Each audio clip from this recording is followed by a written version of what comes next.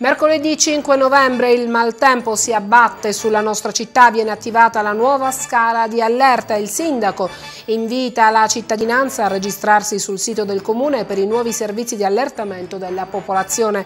Gravi danni in città, caduto un albero in via Ghibellina e un'altra palma lungo la linea del tram sul viale San Martino. Tram fermo per alcune ore, traffico in tilt sull'autostrada Messina-Catania e crollo di un cornicione al Gran Camposanto, all'Ars Ars. Inizia l'esame del piano sanitario per la rete ospedaliera questa settimana.